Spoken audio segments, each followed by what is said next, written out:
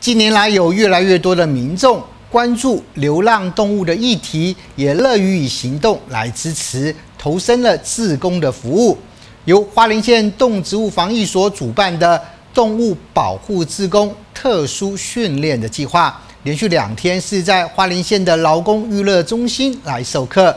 期盼借由课程帮助民众对于流浪犬猫有更深层的认识，强化自工专业的智能。协助推展动物保护的工作。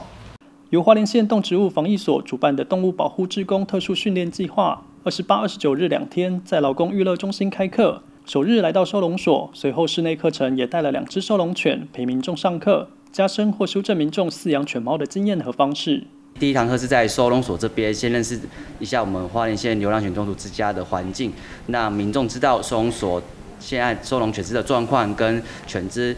进所跟出所的流程之外呢，接下来课程我们会移动到室内，教导民众一般的动物保护的观念，还有我们特地在现场也带了两只狗狗，从收容所带带出两只狗狗，让训练师教民众如何去训练狗狗的一般的行为跟它的一些反应。那在第二天的时候呢，我们会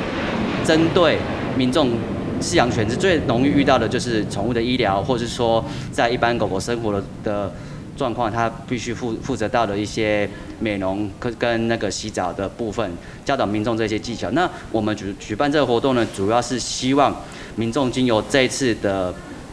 这两天的课程，可以激发起民众对动物保护的认识，跟对狗猫。激起对狗猫的一个爱心，也希望他们在这次课程受训完之后，能投身到动物保护的行列。不管是担任在那个收容所的志工，或是在外面，即使没有担任担任志工，也可以把动物保护的